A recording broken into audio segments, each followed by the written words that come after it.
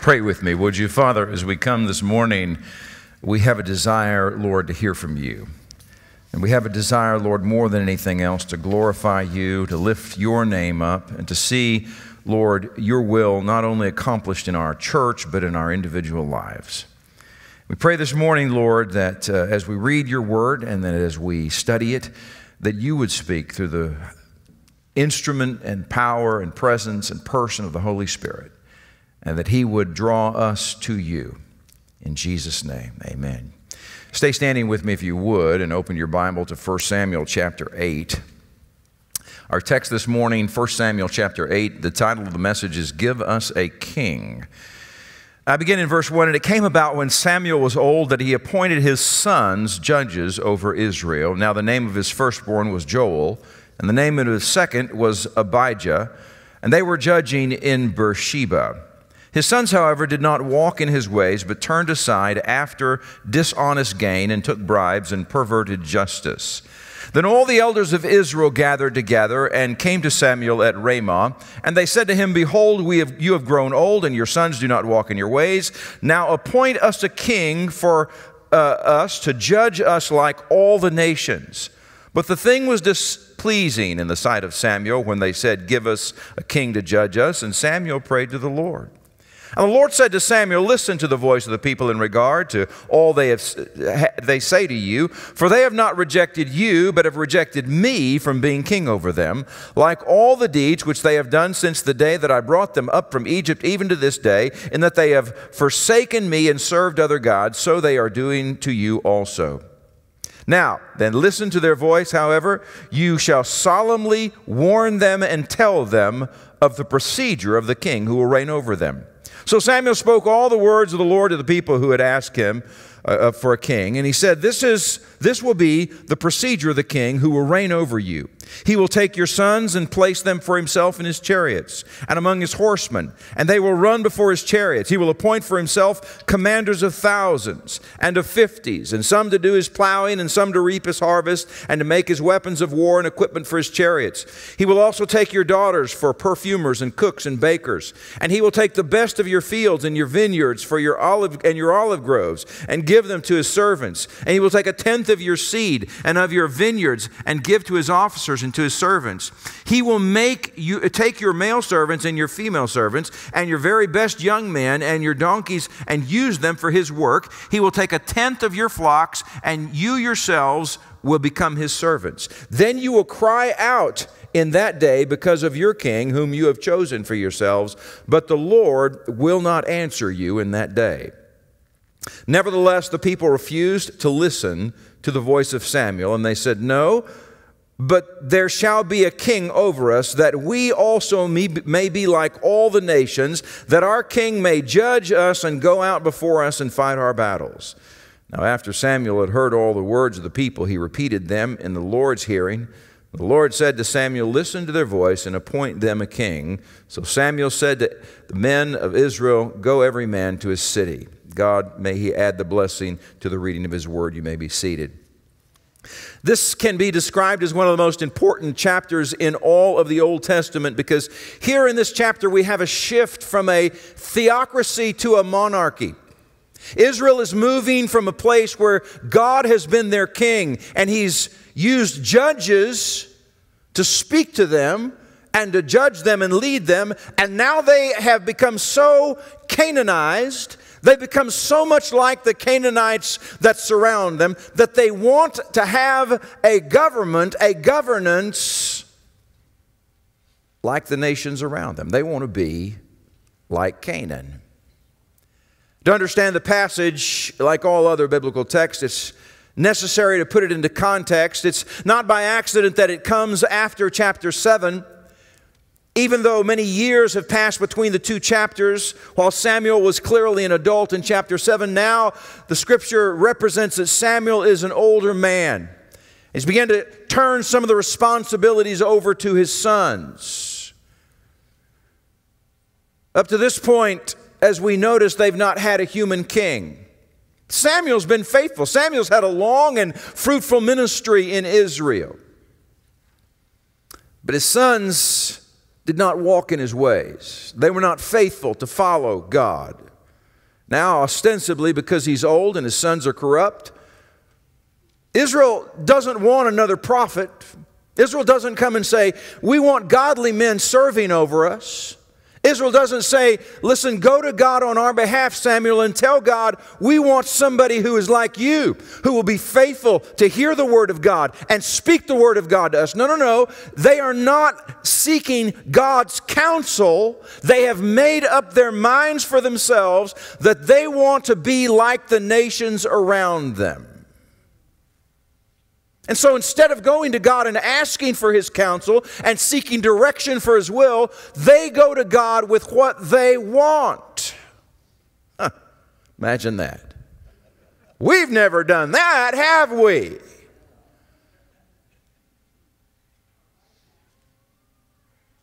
So they gather at Ramah and they tell they tell Samuel, "Give us a king."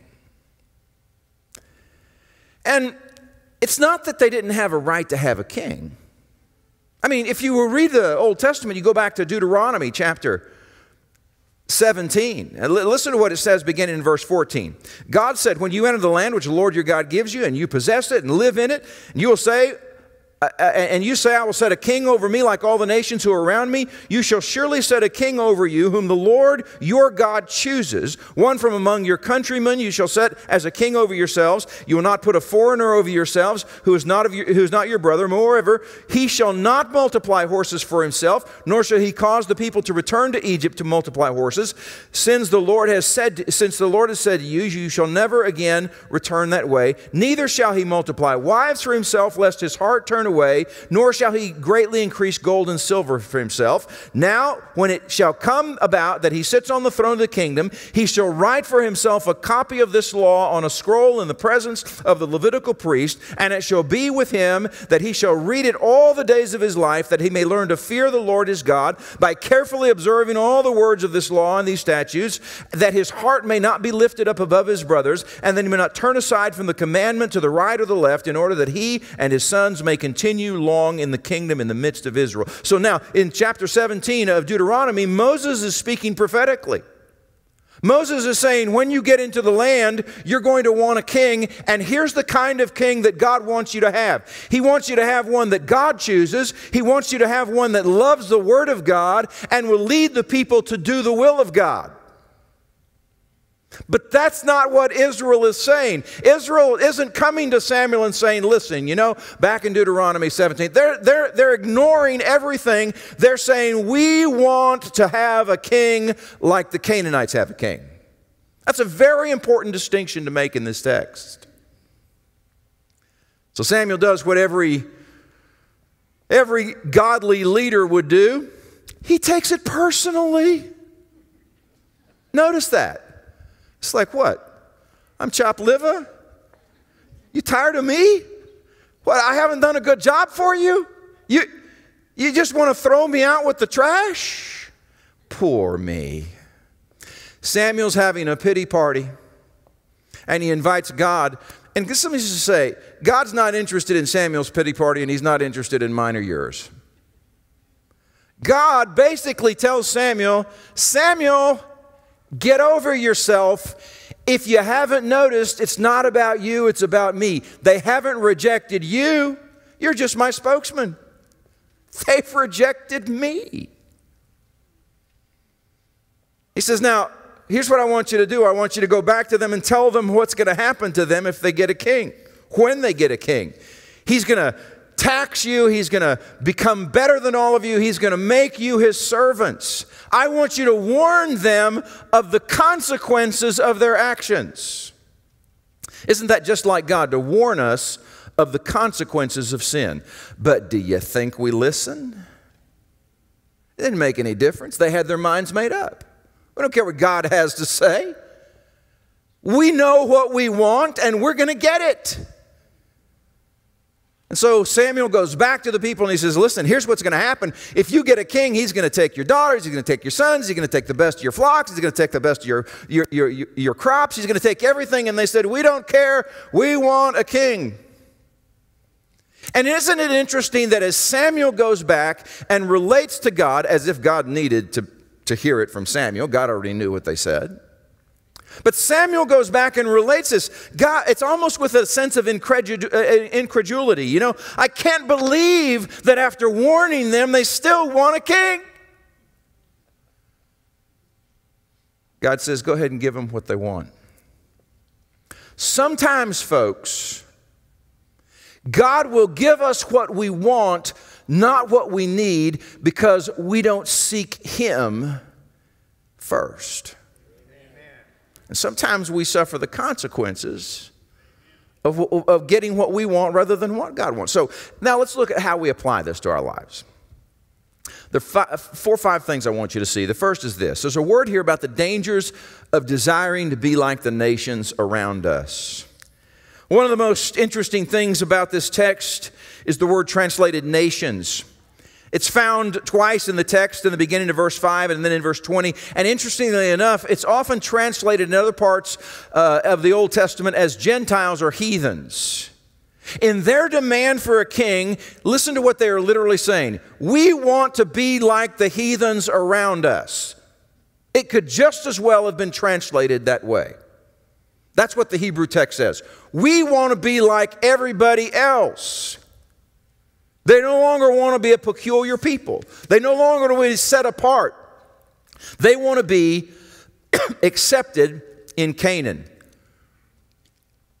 Now you need to remember that all of this is being done within the context of a covenant relationship that God has with Israel.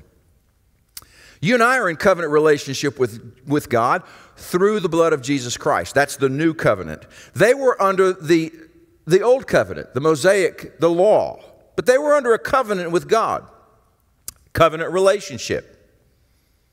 But what the text tells us is if we're not intentional about being God's people in a fallen world, that the fallen world around us will draw us to itself. Like, like metal filings to a magnet, we will want to be attached to the world because nobody wants to be on the outside. Nobody wants to be different. We all want to be accepted. This is, in fact, the history of the nation of Israel and all of God's people, for that matter, in verse 8. It's what God says his people have done since he delivered them from Egyptian captivity. They forsook him and worshiped other gods. They allowed idols in their lives, idols that replaced the one true God as the focus of their love and devotion, idols they worshiped, whom they served, for whom they lived. But don't neglect the context. They became idolaters precisely because they wanted to be like the nations around them. They didn't stand up to the culture, they didn't confront the culture, they conformed to the culture. This is one of the most contemporary passages in all of the Old Testament, folks. If we've ever lived in a day when the church was becoming more like the world, it is today.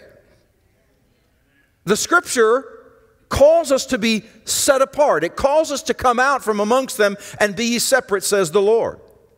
But we don't want to be separate. We want to be like the world around us. We want to be secret agents for Jesus in hostile territory.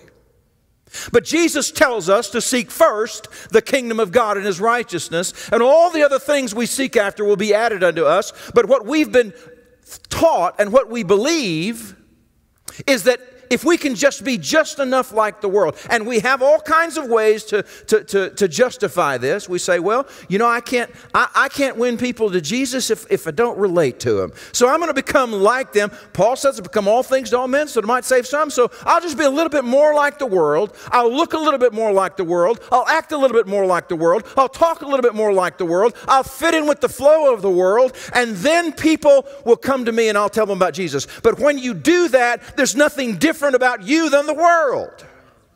So, what do they want? You've got nothing to give them. If you've bought into their value system, if you bought into what they think is important, then you've got nothing to give them that they don't already have better than you. You see, to a large degree, it's our uniqueness, our separation from the world unto God that makes us His people. That's what the word holy means. It means to be set apart. It means to be separate. But when we become so much like the pagans we're supposed to reach with the gospel that there's no visible, distinguishable difference between our lives and theirs, then the transforming power of the gospel cannot clearly be seen, and they won't understand the necessity of the gospel in their life.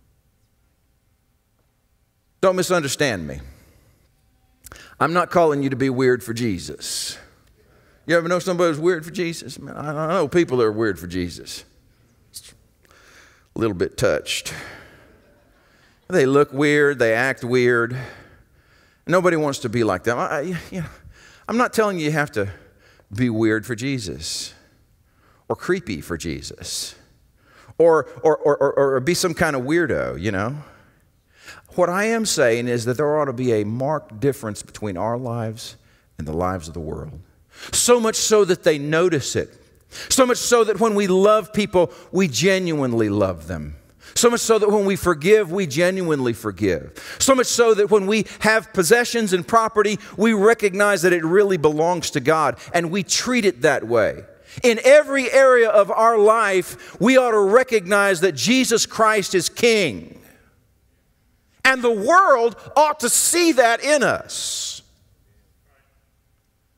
That's why scripture says, Be not conformed to the world, but be transformed by the renewing of your minds. Our entire outlook on life ought to be different than the rest of the world. In our personal lives, in our business lives, in our hobbies, in our service to the local church, it ought to be evident, evident to everybody that Jesus is in charge. The problem, of course, is that every week it seems like somebody has given in to culture. I don't know. I got off of Twitter. It's just good for my spiritual life to get off Twitter. I, I don't have a Facebook account. Thank God.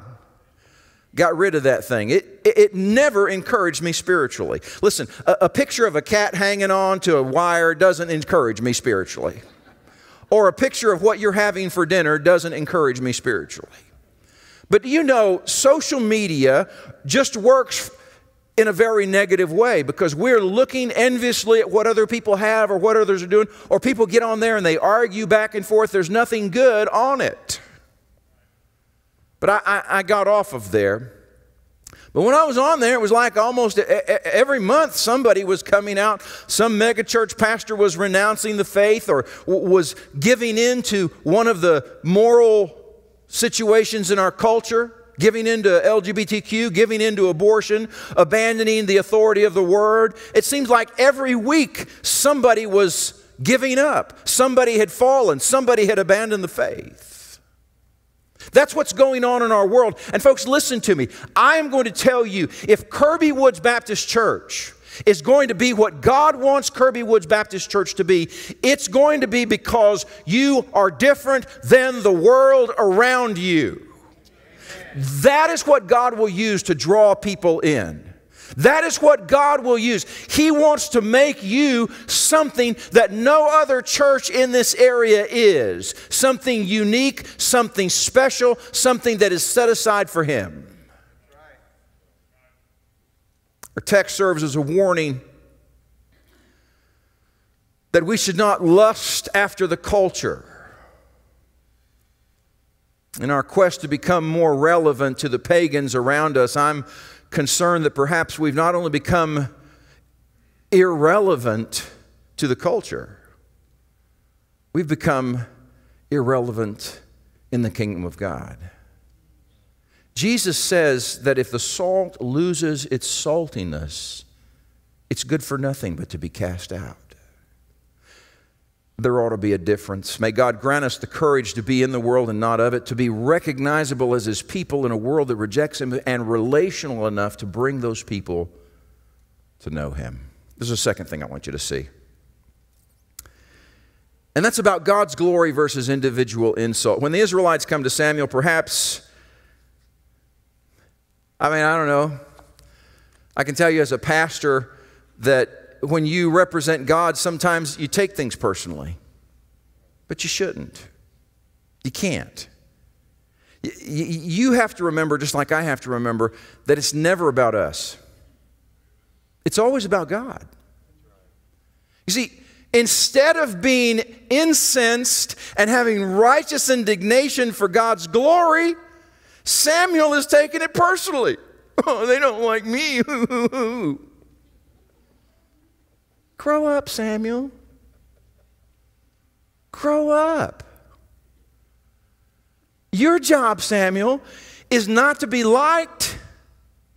Your job is not to perpetuate your job. Your job is just to be a faithful spokesman. Who they've rejected, God says, is me. What we can take away from this is that we need to be sure that we see things for what they really are, that we're looking at things from God's perspective and not merely from a human or selfish perspective. We need to be careful not to take every insult, every disrespectful word spoken against us, or unjust action taken against us personally. Sometimes, you see, the reason it feels personal is that we tend to forget it's not about us. I know many pastors who've been put through the wringer by churches, and some of them deserved it. Some of them were just numbskulls. They made bad decisions and they suffered the consequences of their decisions. Don't mistake me. Listen, sometimes we suffer because we do dumb things. But I know pastors who have suffered because they did what God told them to do. I have a good friend who's on a who's an evangelism director for one of the southern state conventions. And uh, we went to seminary together. We've known each other a long time. And he was pastoring a church one time. And man, it was in a smaller town in Texas. And he began to, I mean, the church just began to grow. People were getting saved. Baptism waters were stirring. The church was taking on a brand new life. Sunday morning service was so exciting, so vibrant, they didn't have any room. And he went to the deacons and he said, Deacons, listen, God is growing our church. Isn't this awesome? We need to build a new sanctuary. And here's exactly what they said We don't need a new sanctuary. We need a new pastor. We've got more people than we need. And they fired him because they were losing control of the church. And they didn't want all those new people coming in and messing up their religious stamped social club. I have a friend, we were driving past a church one time that was, uh, well, it was, see, 80% of Southern Baptist churches are, in, are stagnant or in decline. 80% of our Southern Baptist churches are stagnant or in decline. And we were driving past one of those churches one time, and we were, I was asking him about it. He said, Calvin, God doesn't own nearly as much property as we thought he did. You see, what we need to remember is it's not about me, it's not about you, it's about God, and it's about God's glory. And that's one of the lessons that God is teaching Samuel. Samuel, it's not about you, it's about me.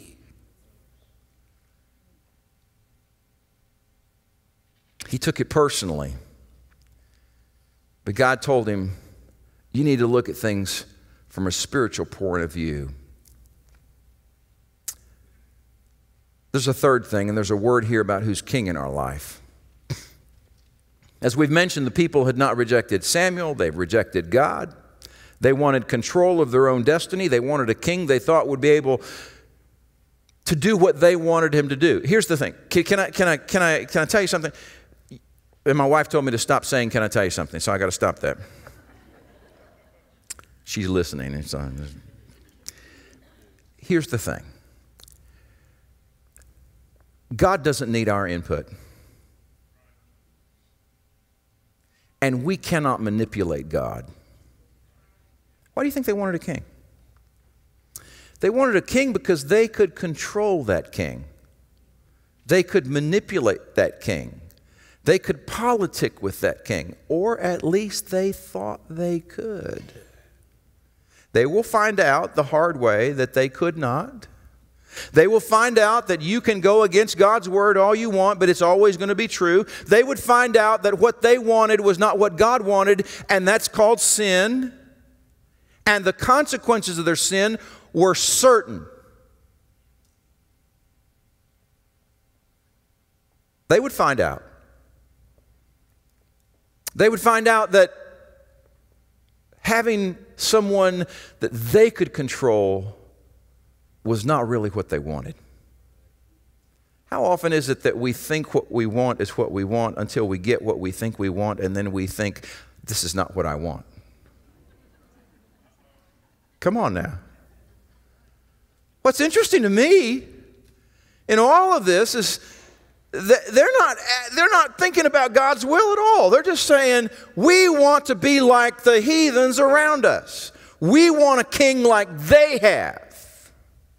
They stopped seeing themselves as a unique, special people, and they began saying, We would rather be like the Canaanites than be set apart for God. How do, how do we get to that point, folks? It's the frog in the kettle, isn't it? You just turn it up one degree at a time, and we acclimate. I wonder what would happen if we could resurrect Billy Sunday. I wonder what would happen if we could resurrect D.L. Moody. I wonder what would happen if we could resurrect those men and they could see what has happened to Christianity in America today.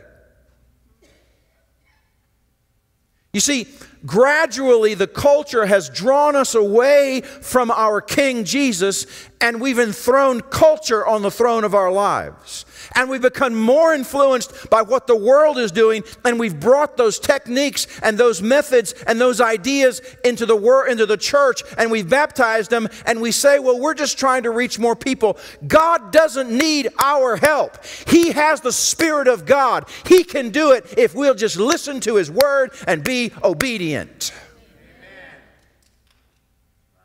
Jesus said, Without me, you can do Oh, come on now. Do we believe that? I mean, we just need to go to Lifeway and get a 40 day program. We, we just need to write the right curriculum. We just need the right, the, the right program in our church. 12 steps, and we can get it done. He says the problem, folks, when Jesus is no longer king, then we look for other ways to accomplish what only Jesus can accomplish, and it never turns out good for us. This is directly applicable in many ways to people in our day who call themselves Christians. See, they want the privilege of being God's people, but they don't want the responsibility of surrendering and submitting. Jesus says in Matthew 7 21, Not everyone that says, Lord, Lord, will enter the kingdom of heaven, but he that does the will of my Father who is in heaven. In the companion text in Luke 6 46, Jesus says, Why do you call me Lord, Lord, and do not do what I say? But you see, the Bible says in Colossians 1:13 that God has delivered us from the authority of darkness and transferred us into the kingdom of his beloved son. What that means is that Jesus is the king of our life. Jesus is the master. He's the boss. He's the one who makes the decisions for us. We don't get to make those decisions. And He's already told us His decisions right here in His Word. We need to be careful as we exegete this text Lest while pointing fingers at these ancient Israelites and accusing them of not wanting to submit to the authority of God in their lives, that we become guilty of the very same thing, only to a greater degree in light of all that's happened at Calvary. There's a fourth thing I want you to see. And this is a wonderful thing in this text it's the grace of God. Mean, even in their rebellion, even though they don't want God as their king anymore, even though they don't want to hear what God has to say, even though they don't go to God and say, God, what do you want? They tell God what, they, what He ought to give them. God is still acting in grace. There are many who say, well, in the Old Testament, it was under the law. That was the dispensation of law, and now we're under the dispensation of grace. There's a problem with that. It's wrong. God's always worked in grace. In Genesis, the Bible says Noah found grace in the eyes of the Lord. God has always been a God of grace. Since the Garden of Eden forward, God has always been a God, uh, God of grace. God could have punished Adam and Eve by taking their lives, but instead, He made clothes for them and He provided for them. God is a God of grace. And I want you to see the grace of God in this text. First of all, we see his grace in his faithfulness to his people in spite of their faithlessness. God is faithful when we are not. I don't know about you folks, but that's a good word for me this morning. And if you don't think you've not been faithful to God, if you think you've always been faithful to God, you're mistaken. We're all faithless from time to time. We all sin. We don't believe in sinless perfection, do we? We all sin. And when we sin, He is faithful and just to forgive us our sins and cleanse us from all unrighteousness. In the midst of Israel's faithlessness, God is still faithful to them. We see God's faithfulness to faithless people. Secondly, we see God's grace in the fact that He warned them about the consequences of their sin. Just think about it. If you have somebody that is running in rebellion against you, the only reason you're going to tell them a word of warning, the only reason you're going to warn them about the consequences of their sin is because you love them. If you have a mortal enemy and they're about to do something really dumb, you're like, well, I hope that works out for you. Let me know how that goes. But if it's your child, if it's your spouse, if it's your brother or your sister, you're going to beg them and plead with them. You're going to warn them. This is how God feels. In Ezekiel, the scripture says, Son of man, I've made you a watchman of the house of Israel, therefore hear the word of my mouth and give them warning from me. When I say unto the wicked, Thou shalt surely die, and thou givest him not warning, nor speaketh to warn the wicked from his wicked ways, the same wicked man shall die in his iniquity, but his blood will I require at thine hand. You see, we have a, a God who warns us about the consequences of sin, and he's called us to warn others about the consequences of sin. It doesn't matter whether they listen or not, we still have that responsibility. Samuel, it doesn't matter whether they listen to you, Samuel, you still have a responsibility to go and warn them. That's God's grace right there, folks. There's a third thing I see about God's grace here, and that is we see that in His grace, He did not allow their rebellion to thwart His plan. Remember, it's not that they wanted a king, it's the kind of king they wanted, and that they wanted him now on their terms, not on God terms, that caused this to be a sin. Instead of going to God and seeking direction, they were going to God with preconceived notions. Instead of waiting for God's timing, they were insisting that they had what they wanted when they wanted it, but God's plan and His grace was going to work out. And they would suffer the consequences of their sin under the rule of Saul, but God had a king in mind all along, and his name was David. And that's the final thing I want you to see in this text. It's a word about the sovereignty of God and his salvation. It's right here. The gospel's here, folks. While all the kings were going to be flawed and fallen, it was through King David's lineage that the one who was flawless and would never fall would come, and he would come through the Davidic line, and his name would be Jesus, the Lion of Judah, born in Bethlehem. He would be the one true righteous king that will reign forever and ever. In John chapter 18, there's a very interesting dialogue between Jesus and Pontius Pilate. Some people say, well, Pontius Pilate never lived. Well, I know that he lived, first of all, because the Bible tells me so. Secondly, because several years ago in Israel, as they were uncovering some archaeological ruins, they came across a stone that had been used as a seat in one of the amphitheaters, and when they flipped it over, it had the name Pontius Pilate on it. Third, I have a coin that has Pontius Pilate's insignia on it that I bought in Israel. I know Pontius Pilate was real. John chapter 18. Jesus and Pontius Pilate are having a discussion. Jesus is about to be condemned to the cross, and the Jews couldn't crucify him on their own. They had to have the Romans' permission, so they go to Pontius Pilate and they say, We want this man crucified. So Pontius Pilate is interviewing Jesus, and he says, Are you a king, the king of the Jews? And Jesus answered, Are you saying this on your own, or did others tell you about me? And Pilate answered, I'm not a Jew, am I? Your own nation and chief priests delivered you up to me. What have you done? Jesus says, My kingdom is not of this world. If my kingdom were of this world, then my servants would be fighting that I might not be delivered up to the Jews, but now my kingdom is not from here. Pilate therefore said to him, So you are a king? Jesus answered, You say correctly that I am a king. For this I have been born, and for this I have come into the world to bear witness to the truth. Everyone who is of the truth hears my voice. And of course, Pilate's going to go on and say, What is truth? You see, Jesus himself confesses that he is a king, and while his kingdom has already come, it has not come to fruition in its fulfillment. That is to say, for now he rules and reigns in the hearts and lives of those who have trusted him, but one day, listen to me, one day every knee will bow and every tongue will confess, and all the nations around us will bend the knee and bow and confess that Jesus is Lord. Revelation chapter 19. Oh, I love this text.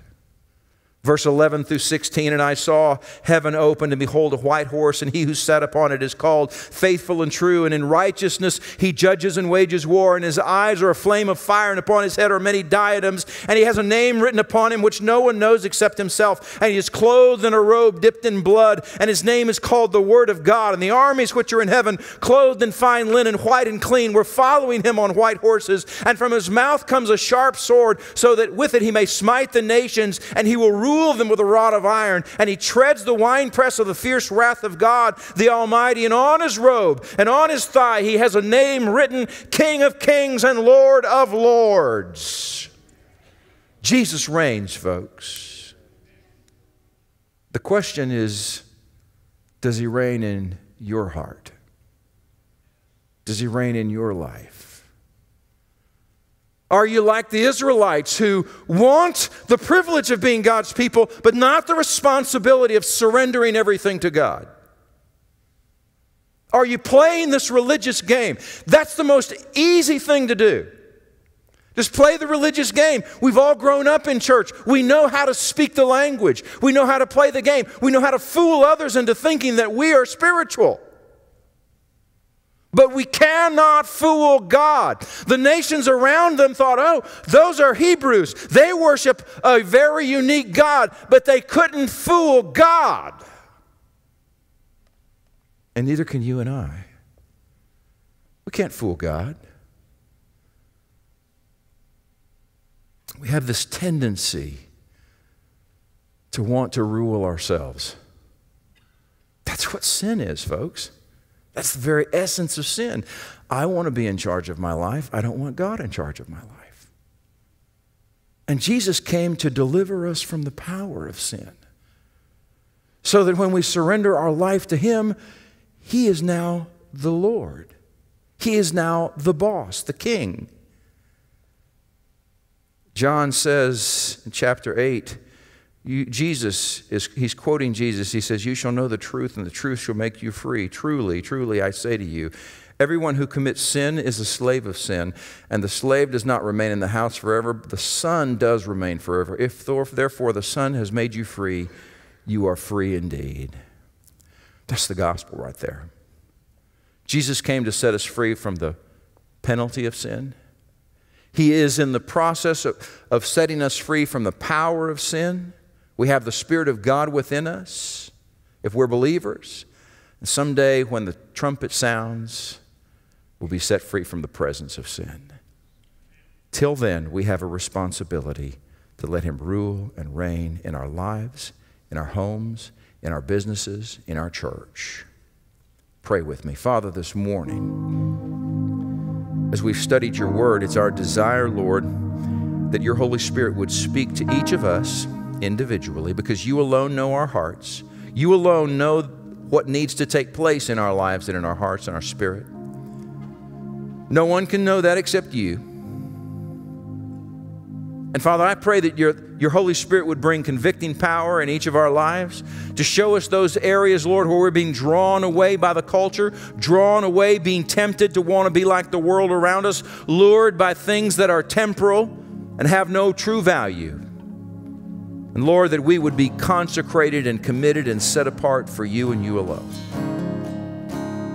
Father, this morning during this time of response, there may be some who want to come and recommit themselves to you. There may be one here, Lord, one watching online this morning that needs to give their heart and their life to you and surrender themselves to know freedom from sin and have that new life that comes in Jesus alone. My prayer this morning, Lord, is your word would not return void, it would accomplish the purpose for which it's been sent forth. In Jesus' name, stand with me. This is our hymn of response. God is speaking to you this morning. I invite you to come. Maybe there's a decision you need to make. Maybe you want to give your life to Jesus, rededicate your life, get some things right between you and God, between you and somebody else. Maybe this morning, God's calling you to be a member of Kirby Woods Baptist Church and to come and be a part of what He wants to do here. Now is your opportunity to respond as we sing.